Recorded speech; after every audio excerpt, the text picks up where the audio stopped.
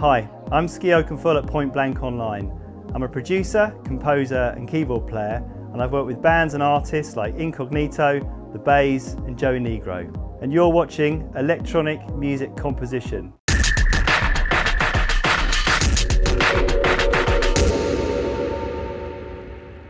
In the year since we've launched this series, we've been inundated with requests for more tracks to analyse and we've loved your suggestions.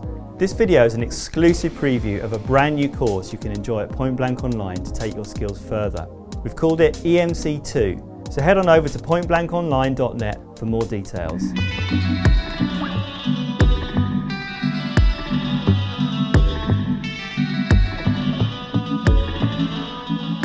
Last video we looked at the musical elements of this track by Major Lazer called Get Free.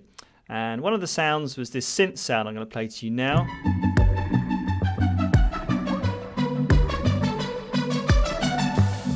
which is used throughout the track, not just in that point, but also uh, underneath the vocal as well. So in the video, I uh, tried to recreate this sound, and I managed to do it in Ableton using uh, the analog and some effect as well. So um, I'm going to go through that from scratch now. I'll just quickly play you um, the sound that I, I ended up with. And uh, I actually assigned uh, this controller knob here to affect the frequency cutoff. which is kind of what happens in the track as well. So let's get going. Uh, I'm going to drag over an analog sound to a new MIDI track I've got set up here. Here we go, this is just the default sound. So we're going to start off with oscillator 1. We're going to make sure that the shape is a uh, sawtooth, which is what we've got here. And um, I'm also going to put the sub level up, sub oscillator to about my 77 should be fine. We're then going to shoot over to the filter section. We're going to turn it on. We're going to make sure that the uh, we're set to this one here, the low pass uh, 12. There we go. And uh, we're going to put the frequency cutoff to around 10 o'clock. And then the, the resonance up maybe to, I don't know, around here, like sort of 44 or something. Cool, and then we're going to go over to the amp section and just look at this uh, ADSR envelope. Uh, I'm going to put the sustain up to 1, the attack, I don't want it to have such a kind of hard attack, I'm going to take that off a little bit, uh, maybe around here, around 25, 24, 25. Oh, it's just gone a bit too much there, there we go. And then the release, there to be so much of a tail on that. So we'll bring that down to about 30 yeah about 30 milliseconds. That'll do. Cool. Now the next thing we're going to do is uh, we're going to turn the LFO on. And um, what we want to do is get this LFO affecting the cutoff frequency. Um, so I'm going to turn it on first. I'm going to then switch it uh, to tempo sync and we're going to set the rate to uh, sixteenths. There we go. So that's on now. We're then going to shoot back to uh, the filter section and you can see here uh, this frequency modulation section here we've got this uh, LFO 1 setting and we're basically assigning that LFO 1 to the cutoff frequency so I'm just going to pull that right up to 4 there and you can see straight away that's working, which is really good. Um, but there's a bit more work to do on that. Um, I'm now going to go back to this LFO section, and you can see that the, the wave that we're using is a sine wave.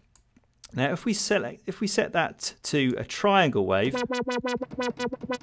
see it's sounding pretty different, and then we go to the width, and we set that to 100 and suddenly you can hear that really kind of nice sharp attack that we've got there. One thing you might notice is that every, as I'm hitting the key it's not always starting at the same point in that uh, waveform, LFO waveform. So if we uh, click on the retrig button here you can see that every time I uh, hit the note, it's always starting at exactly the same point. So it's got a nice kind of attack to it. Um, so cool, we've set that uh, working, which is really good. I'm now going to go back to this filter section and we can actually make this uh, filter a little bit fatter by uh, looking at the filter drive. I quite like this, this uh, asymmetrical one.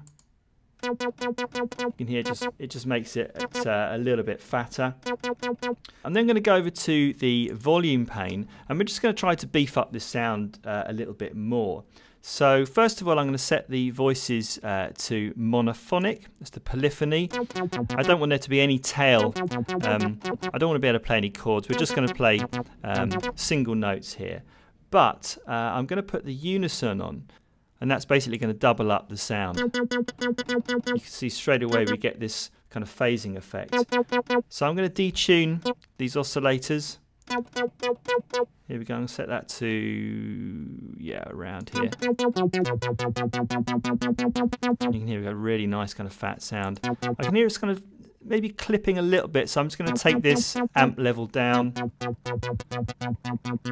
Give us a bit of headroom. I'm also going to put this glide on.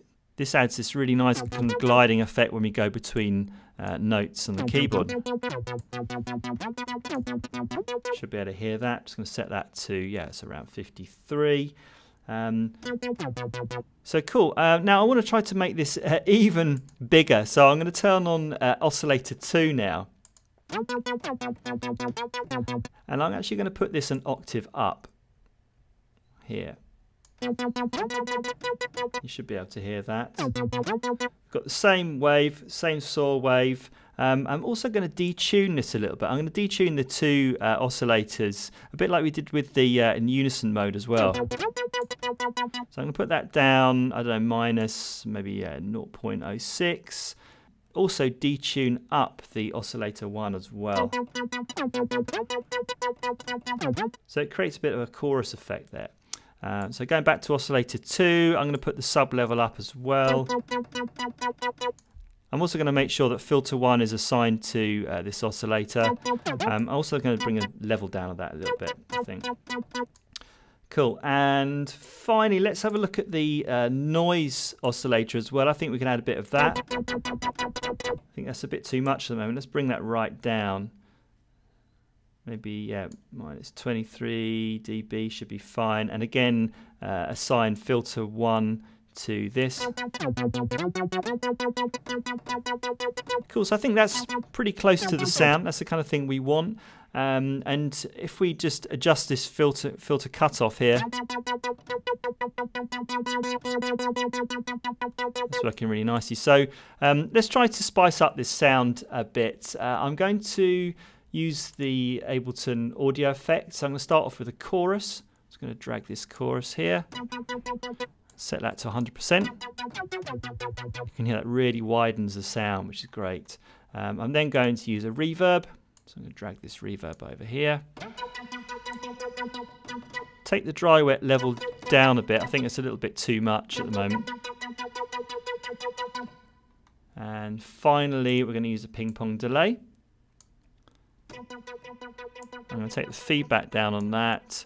Again, the dry wet level down. I don't want so much of that delay to sound. And we can maybe take a little bit more of that uh, bottom end off the ping pong.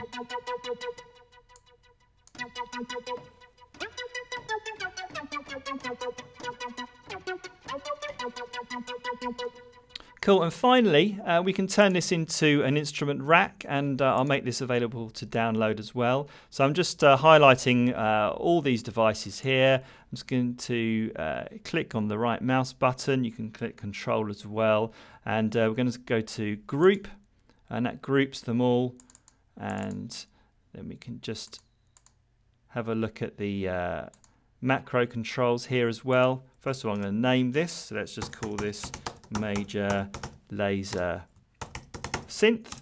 And uh, we're also going to assign uh, this frequency cutoff to this first macro.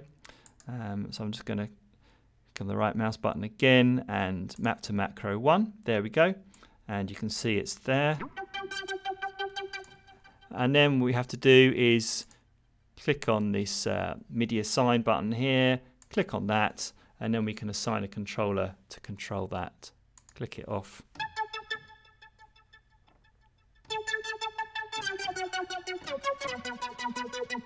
So we've got a nice fat sound here. Um, we can go down a couple of octaves and you can see it works as a really nice bass sound as well.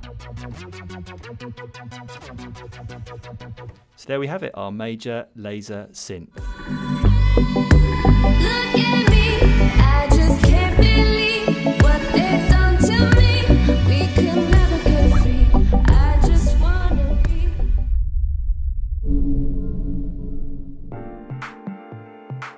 Point Blank Online, you've got two methods of interaction with your tutor. Firstly, you've got the weekly online masterclass, which is in real time, and then also we've got feedback on your assignments, and that's known as DVR. So the online masterclass is a one hour session you get with your tutor every week.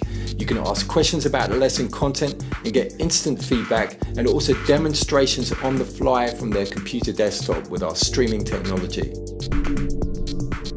DVR stands for Direct Video Response, and the concept is really simple. You upload your Ableton Logic or Cubase project file to your tutor, he downloads it and then pushes record on the screen capturing software and evaluates your work, so basically giving you one-to-one -one feedback.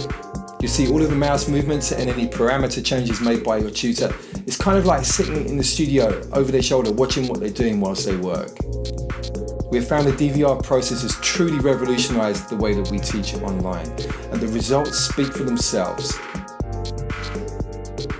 Book your place on a course now by visiting pointblankonline.net.